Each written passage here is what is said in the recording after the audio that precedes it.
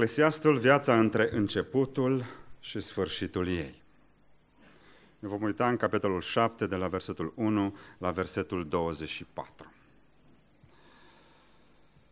Voltaire se uita la viață de la începutul la sfârșitul ei și spune, concluzia lui este, viața este o glumă proastă. Și Shakespeare se uita la viață între început și sfârșit și uitându-se, concluzia lui este următoarea. Viața este o poveste spusă de un idiot, plină de zgomot și furie, semnificând nimic. Eclesiastul se uită la viață și încearcă să-i priceapă rostul. Solomon își pune inima să descopere sensul vieții. Și îl vedem punând întrebările corecte, dar caută răspunsurile în locurile greșite. Solomon pune întrebările cinstite, curate, dar caută răspunsul în zonele contaminate, și anume sub soare, folosindu-se de experiența umană care este limitată și într-un timp limitat, anii vieții, insuficienți pentru a-i descoperi scopul. De aceea în demersul său Solomon nu găsește răspunsurile. Se apropie de ele, dar nu găsește răspunsurile complete. Ceva, ceva mereu îi scapă. Aceasta este experiența de până acum, călătorind prin cartea Eclesiastul. Și vom vedea că și astăzi pasajul nostru se încheie asemănător. Solomon se străduiește să priceapă ceva, se apropie și la sfârșit din nou lasă mâinile în jos și își exprimă un soi de descurajare. În capitolul 7 se întoarce Solomon de la viața ca și investiție, se întoarce înspre înțelepciune, de la bogăție, avuții, la înțelepciune. Și afirmația lui printre rânduri este, cel înțelept este mai avantajat decât cel bogat. Întreg pasajul nostru are un light motiv clar de la început până la sfârșit. Și light motivul acesta, acesta este expresia mai bine sau mai bun ceva decât altceva. Întregul pasaj se joacă cu acest gen de exprimare. Mai bine cu tare decât cu tare. Mai bun cu tare decât cu tare. Pasajul de astăzi, de fapt, este o înșiruire de proverbe. Și de aceea l-am intitulat Viața între începutul și sfârșitul ei. Viața între ziua nașterii și ziua morții. Și Solomon, între aceste două repere, înșiruie de fapt o mulțime de proverbe pe care unele dintre ele, cel puțin, le găsim în cartea lui, în proverbele lui Solomon. Le adună și le pune acolo, încercând să ne spună ceva între ziua nașterii și ziua morții. Uită ceva dram de înțelepciune. De fapt, proverbele nu sunt altceva decât o distilare a experienței umane iei experiența umană și o distilezi într-o frază succintă, concisă, pe care o transmiți generațiilor viitoare. Proverbele sunt esența înțelepciunii colectată în sticluțe mici, ușor de depozitat, ușor de ținut minte. Dar una este să le ții minte și alta este să ții cont de ele diferență de la cer la pământ. Proverbele sunt niște exprimări extraordinar de frumoase, esența înțelepciunii în sticluțe mici, ușor de depozitate în mintea noastră. Dar una este să le ții minte și alta este să ții cont de ele. Așa că haideți să intrăm în aceste proverbe, să le luăm pe rând și să extragem un dram de învățătură, poate că măcar unul dintre aceste proverbe va însemna ceva pentru noi. Să plecăm acasă mai bogați. Solomon își începe călătoria cu următorul proverb, versetul 1, capitolul 7. Mai mult face un nume bun decât un de lemnul mirositor. Evident. Fiecare om dorește să facă o impresie bună asupra altora. Este normal. Vrem să fim bine văzuți. Ne pasă ce se spune despre noi. Ne doare un nume rău. E clar că e așa. Un nume bun contează realmente. Dar de ce este mai bun un nume bun, mai mult face un nume bun, decât un de lemnul mirositor sau decât parfumul? De ce acest contrast? De ce această comparație? Ei bine, parfumurile au fost descoperite încă din antichitate, fiind considerate indispensabile în ceremoniile religioase și totodată era un simbol al rafinamentului încă de pe vremea egiptenilor și babilonienilor. Parfumurile și esențele aromate sunt menționate foarte des în scripturi. De fapt, fabricarea unui parfum este o artă scumpă și este fascinantă. Contrar unei prime impresii, un parfum nu este constituit doar din extractul acela de flori. Parfumurile sunt un amestec de uleiuri esențiale, de solvenți și de fixativi. Uleiurile esențiale sau compuși aromatici stau la baza parfumului.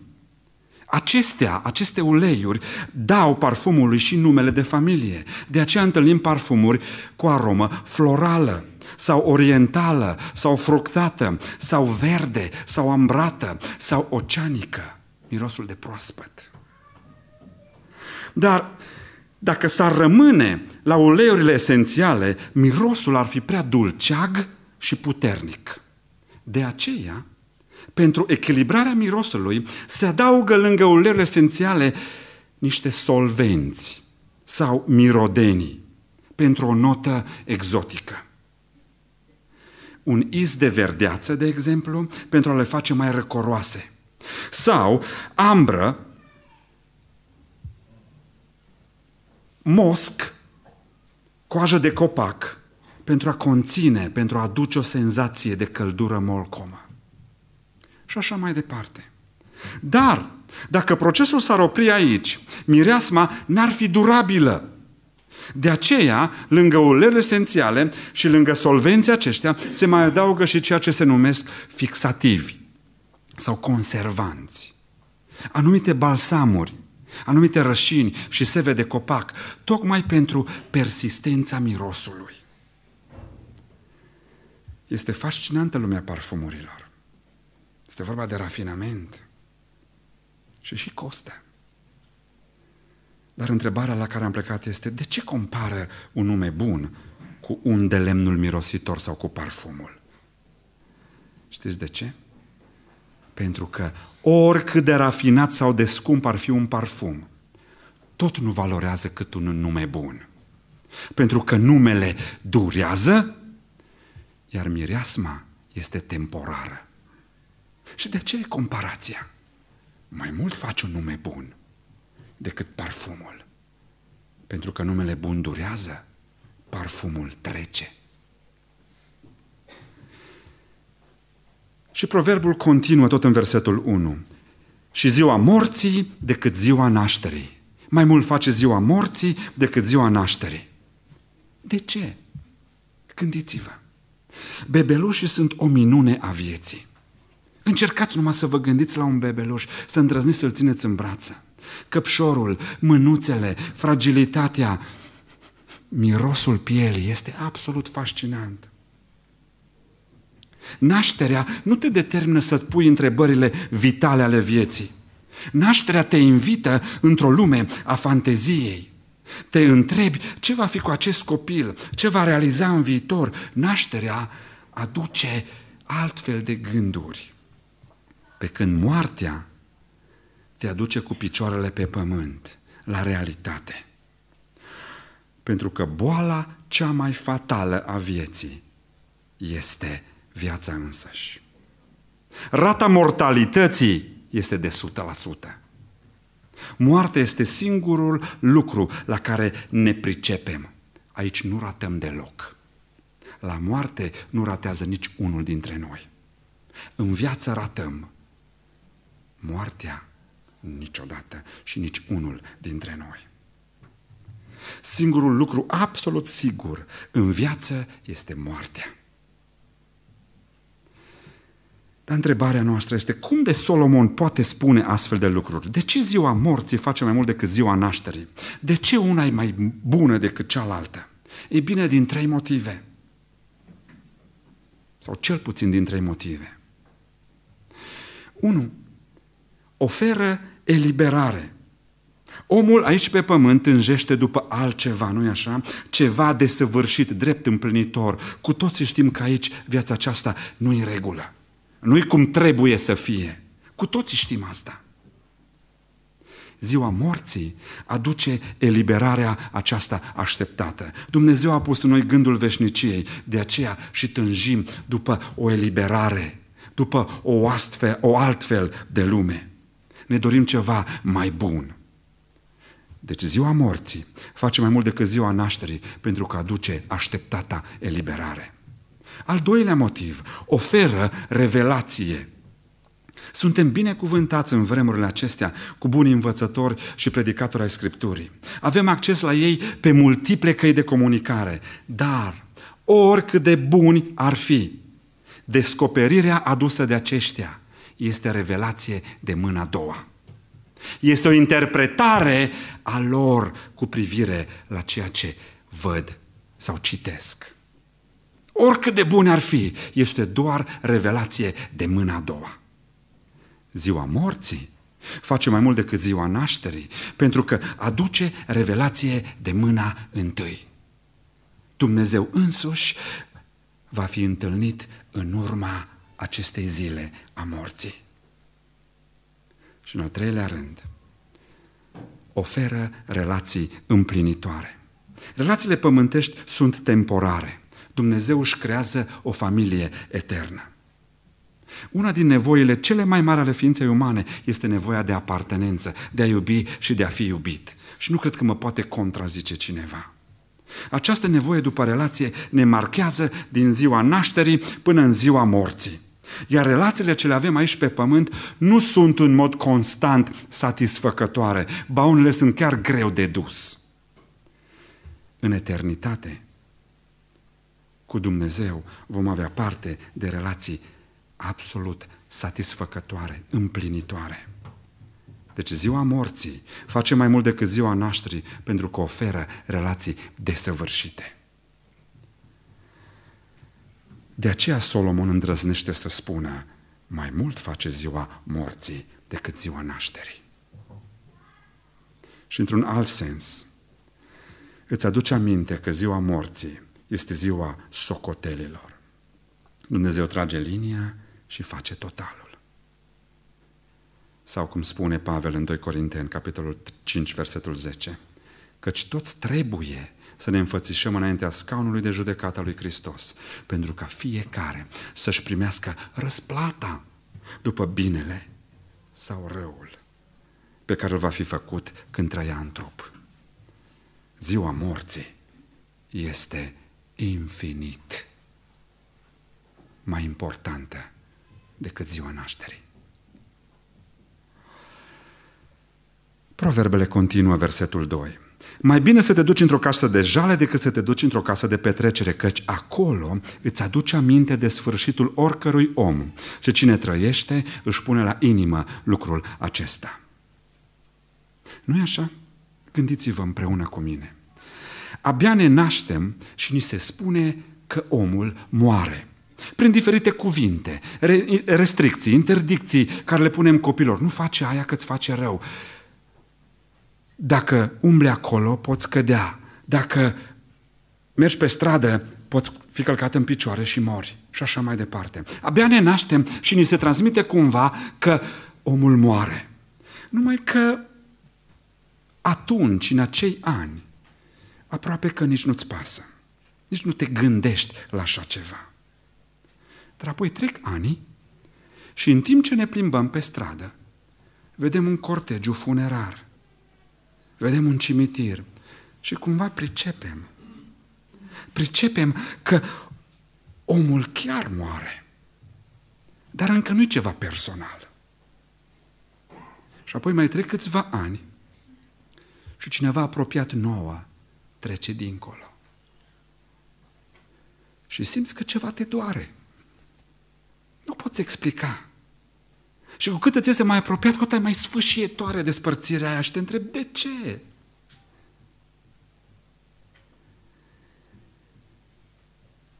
Simți realitatea morții mult mai aproape.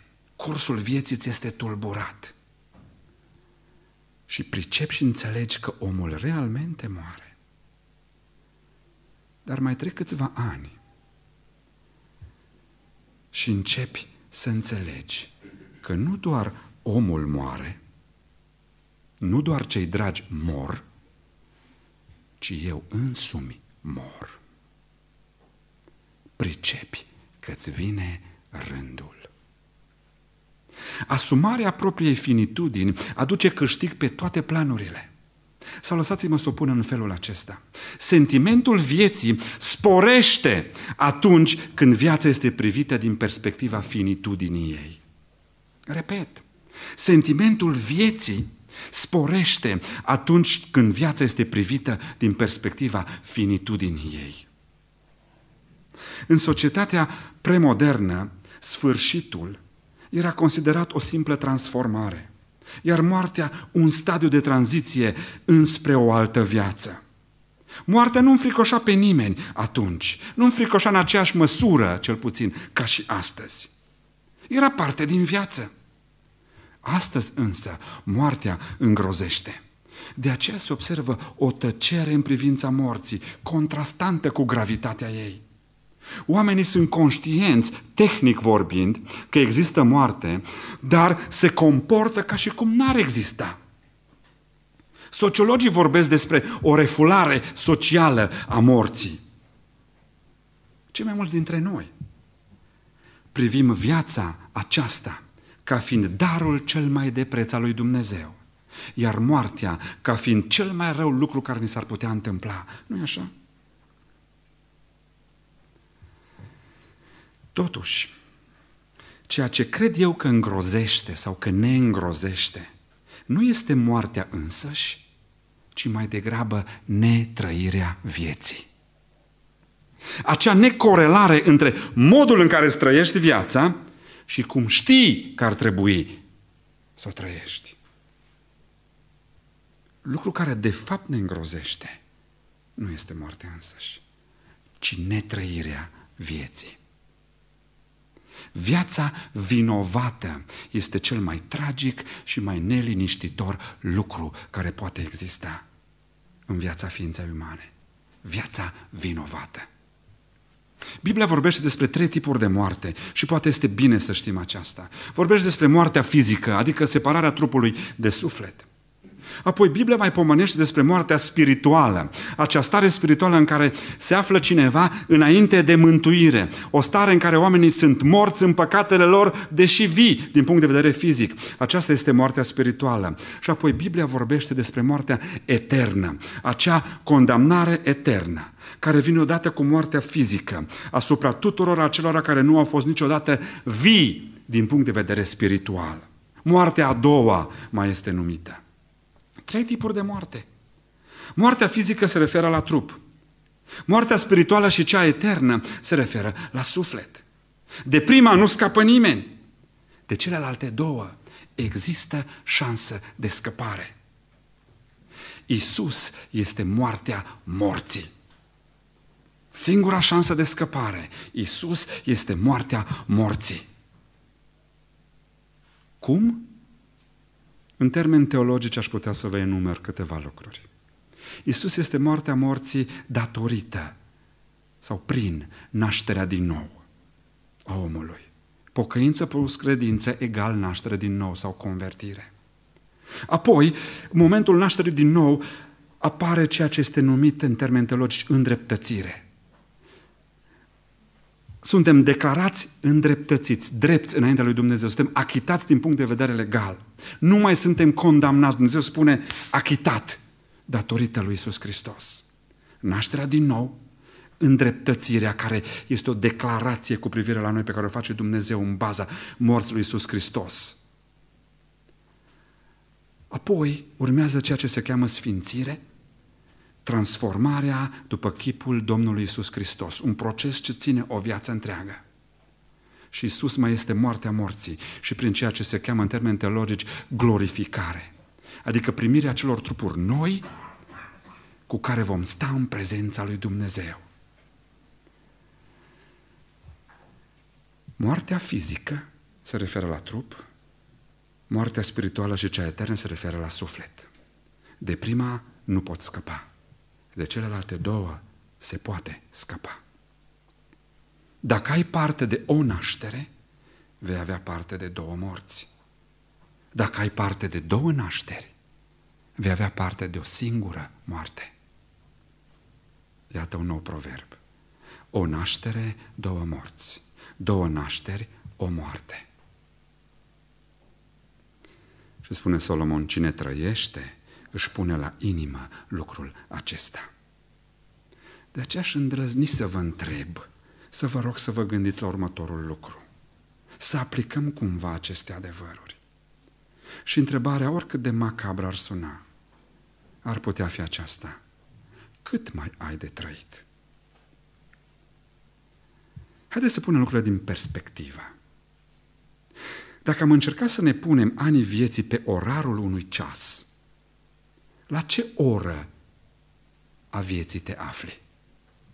Și ca să nu vă fac de rușine cu matematica, vă ajut eu. Dacă presupunem că am trăit vreo 72 de ani, așa, o medie, 72 de ani de viață am avea fiecare, dacă am avea 72 de ani de viață, și ceasul are 24 de ore, atunci fiecare an este 33 de minute. Ce înseamnă asta? Ascultați ce înseamnă. Dacă ai 18 ani, te afli la ora 6 dimineața. Au trecut deja 6 ore din viața ta. Mai ai vreo 18 ore de trăit. Dacă cumva ai 27 de ani, ești la ora 9 dimineața. Îți mai rămân. Îți mai rămân vreo 15 ore. Dacă ai 36 de ani, ești la ora 12 la miaz. Jumate din viață ți s-a dus. Dacă ești la 50 de ani, ești la ora 16 și 40 de minute. Mai ai vreo 7 ore și 20 de minute de trăit. Viața îți fuge de sub picioare. Întrebarea este, tu cât mai ai de trăit? Și aproximând sau privind din această perspectivă, cât mai ai de trăit? S-ar putea să fii motivat să trăiești în așa fel încât ziua morții să fie mai bună decât ziua nașterii. Proverbele continuă. Mai bună este întristarea decât râsul, căci prin întristarea feței inima se face mai bună. Inima înțelepților este în casa de jale, iar inima celor fără minte este în casa petrecerii. Oare de ce o fi așa? Nu știu să vă zic. De ce așa funcționează universul ăsta? De cele mai multe ori, nu e așa? Lucrurile care nu-ți plac sunt bune pentru tine. nu e așa? Îți fac bine. Culmea, alea care nu-ți plac îți fac bine. De cele mai multe ori, o travă are gust bun și medicamentele un gust îngrozitor. Este o realitate a vieții. De obicei, lucruri care nu-ți plac, îți fac bine. Așa e și cu casa de jale, nu-ți place, dar îți face bine. Proverbele continuă. Versetul 5. Mai bine să asculți mustrarea înțeleptului decât să asculți la cântecul celor fără minte. Ați ascultat cu atenție? Mustrarea face mai bine decât lingușirea. Dar acolo spune încă ceva. Mustrarea înțeleptului este mai bună decât lingușirea prostului. Asta ce înseamnă? Asta înseamnă că mustrarea prostului nu face mai bine decât lingușirea înțeleptului. Și v-aș lăsa să meditați mai mult la asta. Mustrarea înțeleptului este mai bună decât lauda, lingușirea prostului. Versetul 6, următorul proverb. Căci râsul celor fără minte este ca pârâitul spinilor sub căldare și aceasta este o deșertăciune. Spinii vreascule uscate ard repede și cu zgomot și nu durează, nu întrețin focul. Dar atenție din nou, să citim cu atenție. Solomon nu condamnă râsul aici, el condamnă râsul prostului, râsul celor fără minte. Nu râsul în sine este condamnat, este râs bun și sănătos. Și râs rău, prostesc. Râsul prostului este ca păritul spinilor sub căldare. Pentru că un prost, de ce lucruri poate să râdă? Un om fără minte, cu privire la ce poate să râdă? Înțelegeți? Versetul 7, proverbele continuă. Averea luată prin stilă înnebunește pe cel înțelept și mita strică inima. Proverbul acesta vizează conceptul de integritate. Fără integritate nu ai viitor. Nici înaintea lui Dumnezeu, nici înaintea oamenilor. De fapt, în Proverbe 10 cu 9 spune așa, cine umblă fără prihană, adică cine umblă cu integritate, umblă fără teamă. Și haideți să poposim două minute la acest proverb. Să ne gândim puțin la integritate. Integritatea este ceea ce Dumnezeu caută la om, la tine și la mine. Spune în 1 Cronici, capitolul 29 cu 17, Știu, Dumnezeule, că Tu cercetezi inima și că iubești curăția de inimă, adică integritatea. Integritatea este ceea ce Dumnezeu caută la tine și la mine. În plus, integritatea se clădește cu fiecare alegere pe care o faci. De fapt, gândește integritatea ca un copac. Decizia ta inițială de a nu trece dincolo de anumită linie va planta o sămânță. Nu voi trișa la niciun examen. Este o decizie care plantează sămânța integrității. Apoi, de fiecare dată când îți ții cuvântul, chiar dacă te costă, integritatea ta dă un lăstar. De fiecare dată când spui adevărul, deși minciuna te-ar proteja pe moment, vlăstarul tău devine tulpină. De fiecare dată când tratezi un om cu respect, integritatea ta dă o ramură.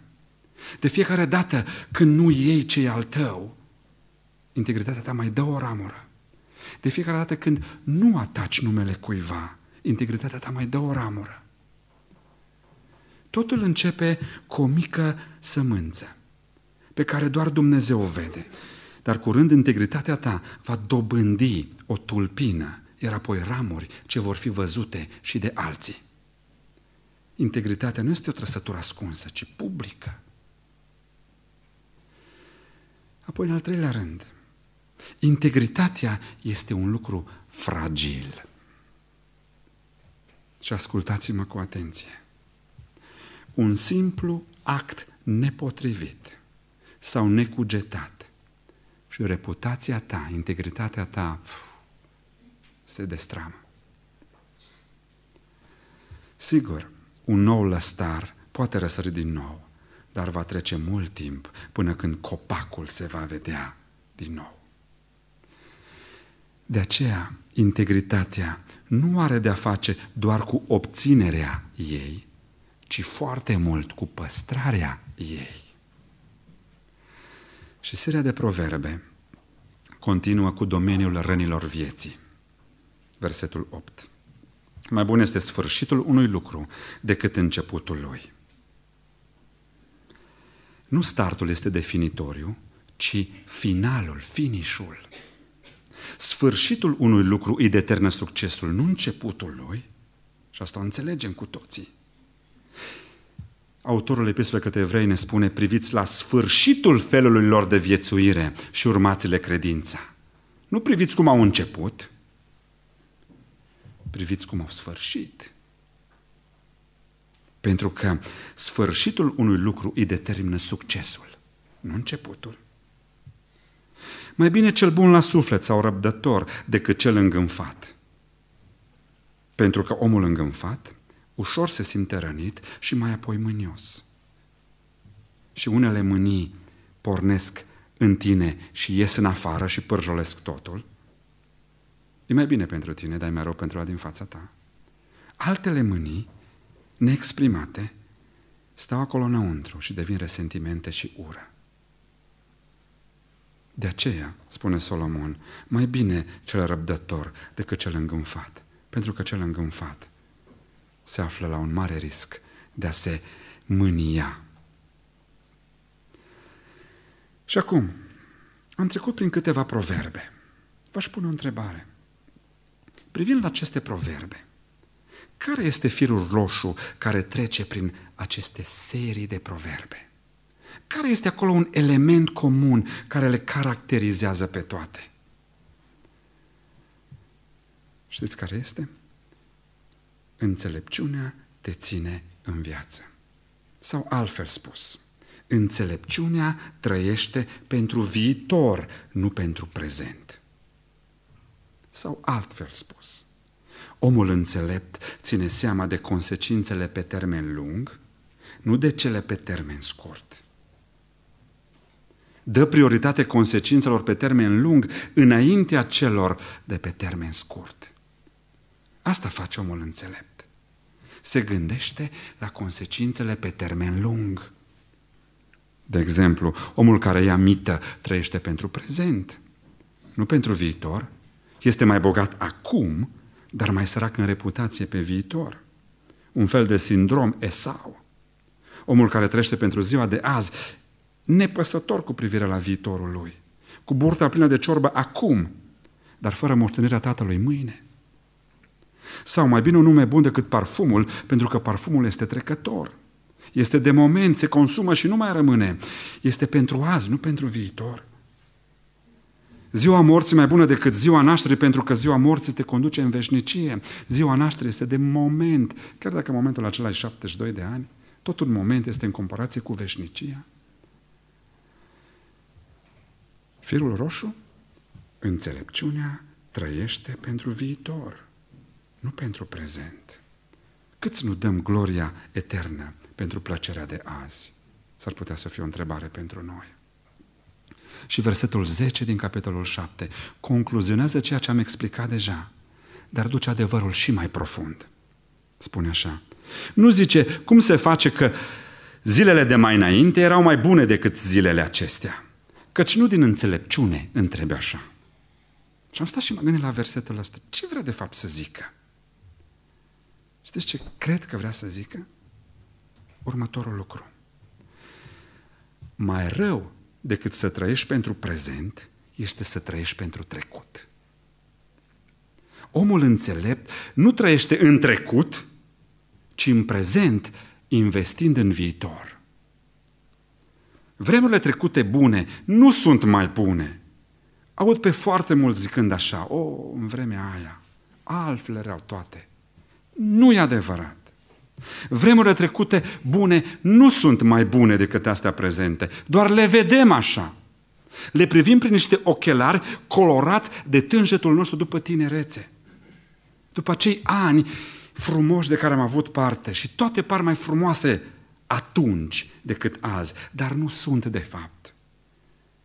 Este o părere falsă. Nostalgia este o cursă. Nu doar pentru faptul că nu-ți mai trăiești prezentul, dar și pentru faptul că nici nu mai faci nimic să-l schimbi, dacă trebuie. Nu-ți poți trăi viața privind în oglinda retrovizoare tot timpul. Da, viața poate fi înțeleasă privind înapoi, dar trebuie trăită privind înainte. Și asta cred că vrea să spună Solomon. Nostalgia este o cursă. Omul înțelept nu trăiește în trecut, ci în prezent, investind în viitor. De aceea spune, nu zice, cum se face că zilele de mai înainte erau mai bune decât acestea? Că nu din înțelepciune întrebe așa. Și în secțiunea următoare, Eclesiastul face o evaluare succintă a înțelepciunii. Și spune așa, versetul 11 și 12. Înțelepciunea prețuiește cât o moștenire și chiar mai mult pentru cei ce văd soarele. Căci o crotire dă și înțelepciunea, o crotire dă și argintul.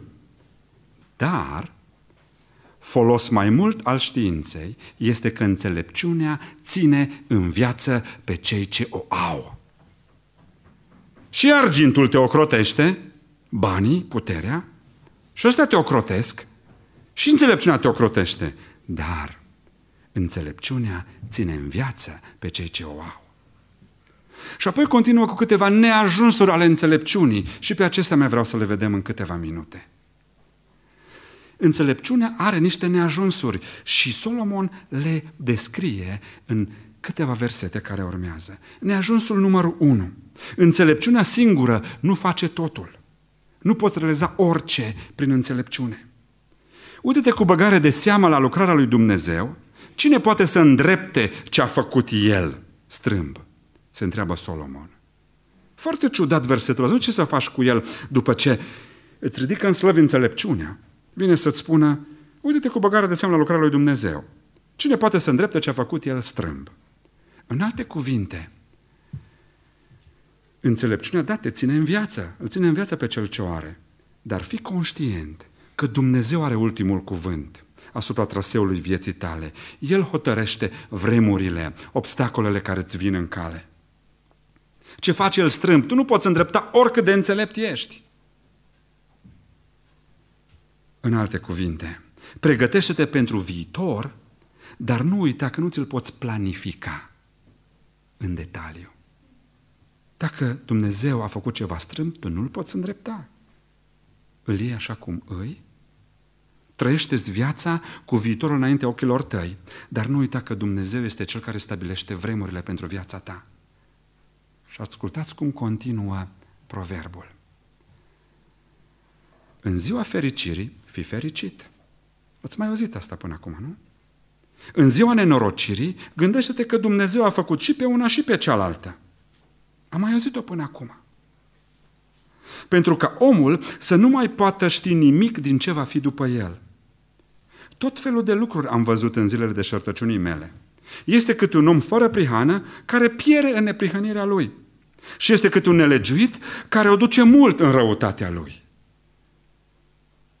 În alte cuvinte, Solomon ne dă primul neajuns al înțelepciunii. Înțelepciunea nu rezolvă totul. Da, te ține în viață, da, ai de folos, dar nu te aștepta să pricep tot. Nu te aștepta să-ți poți planifica totul cu succes înainte, pentru că unele lucruri Dumnezeu le face strâmbe. Când ți bine, bucură-te, când ți greu, adu-ți aminte că Dumnezeu a dat-o și pe aia. Vezi unul bun pierind și vezi unul rău stând și trăind? Înțelepciunea nu rezolvă totul. Neajunsul numărul doi. Înțelepciunea poate conduce la mândrie. Wow. Continuă textul. Nu fi prea neprihănit și nu te arăta prea înțelept. Pentru ce să te pierzi singur? Dar nu fi nici peste măsură de rău și nu fi fără minte. Pentru ce vrei să mori înainte de vreme? Bine este să ți aceasta, dar nici pe cealaltă să nu lași din mână, că cine se teme de Dumnezeu scapă de toate acestea. Ciudat verset sau versete. Nu fi prea neprihănit. Nu este o licență, un cec înalt pentru a păcătui. Partea următoare reglează afirmația și nu te arăta prea înțelept. Ce vrea să spună Solomon aici este nu face pe neprihănitul, nici pe deșteptul. Nu-ți trâmbița neprihănirea, dreptatea și înțelepciunea. Nu face caz de moralitatea și înțelepciunea ta. Pentru ce să te pierzi singur? Cum te poți pierde singur? Păi, după ce ai făcut caz de moralitatea ta, de dreptatea ta, de înțelepciunea ta, te-ai afișat pe ori pe unde ai putut cu ceea ce știi tu, modul în care tu ai descoperit secretele vieții, cum știi tu să trăiești, ce familie ai, ce decizii înțelepte ei. După ce te afișezi cu toate astea, aluneci o singură dată și căderea ta e mult mai de sus. Pentru ce să te pierzi singur? Nu-ți afișa cu ostentație calitățile și înțelepciunea. Și Domnul Iisus spune asta în Matei 6, unde zice așa, luați seama să nu vă îndepliniți neprihănirea voastră înaintea oamenilor ca să fiți văzuți de ei, altminteri. Nu veți avea răsplată de la Tatăl vostru care este în ceruri. Aceasta este ideea. Nu fi prea neprihănit și nu te arăta prea înțelept. Nu înseamnă ai nu trăi perfect și tu mai păcătește pe aici, pe acolo. Nu asta vrea să zică textul, ci vrea să zică nu-ți afișa cu ostentație realizările tale. Modul tău de a trăi frumos. Nu ți-l afișa înaintea oamenilor ca să fiți văzuți de ei. Trăiește frumos, temete de Dumnezeu și vei scăpa din toate, spune Solomon. Neajunsul al treilea. Înțelepciunea nu este o stare constantă și permanentă. Nu te aștepta să fii ireproșabil tot timpul. Cu toții facem greșeli. Și asta spune Solomon în versetul 19. Înțelepciunea face pe cel înțelept mai tare decât 10 viteji care sunt într-o cetate. Dar pe pământ nu este niciun om fără prihană care să facă binele fără să păcătuiască. Asta spune Solomon. Înțelepciunea nu este o stare constantă, permanentă. Da, înțelepciunea, cel înțelept este mai tare decât 10 viteji, decât 10 conducători a unei cetăți. Ăsta este sensul. Da, înțelepciunea e valoroasă, dar nu este infailibilă. Căci nu este niciun om care să facă binele fără să păcătuiască. Înțelepciunea este foarte bună, dar nu este infailibilă. Să nu crezi că ea te scoate din toate. Și neajunsul al patrulea, care îl descoperim aici. Înțelepciunea nu te face imun la critică. Nu fi super sensibil la critică, ne spune Solomon.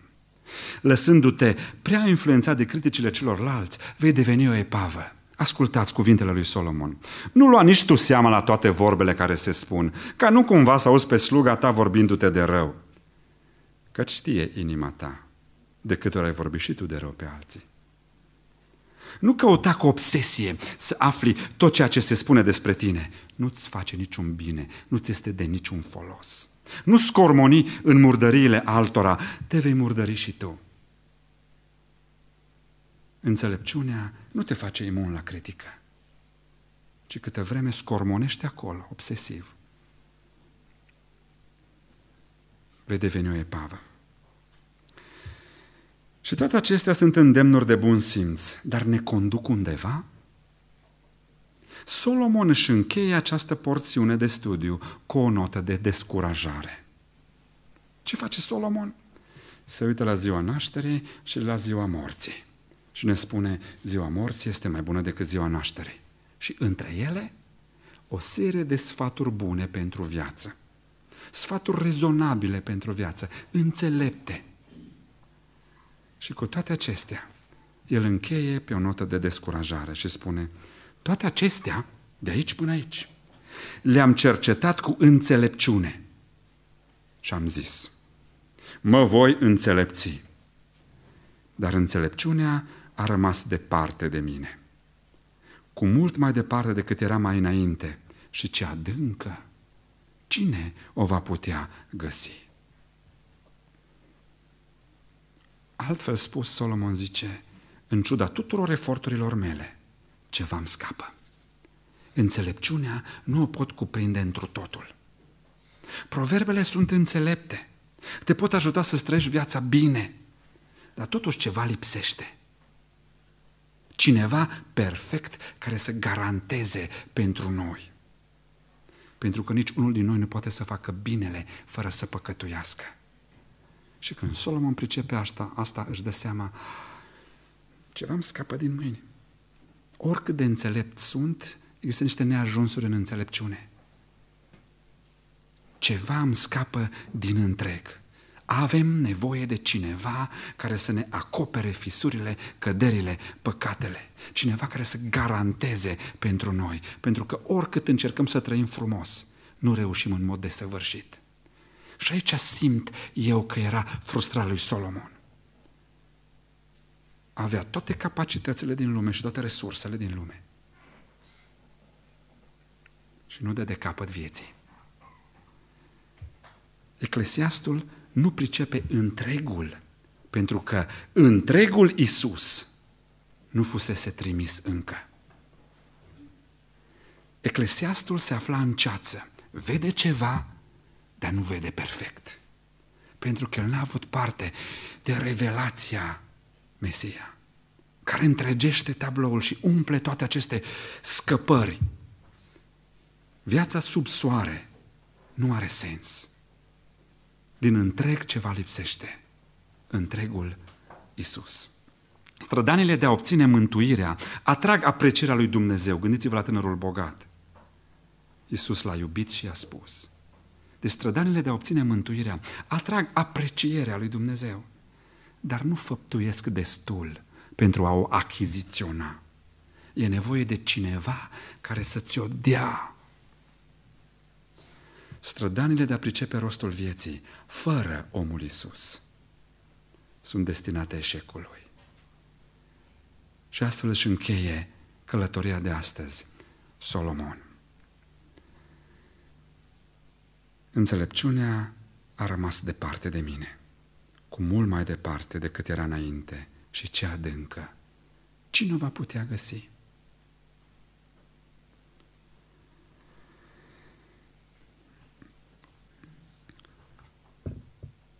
O să mai facem câțiva pași în întâlnirile următoare, sperând că poate în finalul cărții o să găsim și secretul rostului vieții. Așa că până atunci, până atunci, să trăim, să ne trăim liniuța între ziua nașterii și ziua morții, cu toată înțelepciunea de care avem parte, ne uitând că noi avem și întregul înaintea ochilor noștri, întregul Isus. Tatăl nostru care ești în ceruri, te rugăm frumos să ne binecuvintezi cu această înțelepciune ce vine de sus. Te rugăm să îți înalți fața ta peste noi prin Duhul tău cel Sfânt și să ne atenționezi ori de câte ori. Vrem să facem ceea ce este mai rău, nu mai bine. Când suntem gata să alegem într-un lucru inferior, într-un lucru inferior și superior, să alegem pe cel superior, te rugăm frumos, Doamne. Te rog să ții mâna ta cea bună peste tinerii noștri și cu înțelepciune să-și trăiască săptămâna, luna, anul, viața. Pentru ca ziua morții să însemne mai mult decât ziua nașterii. Amin.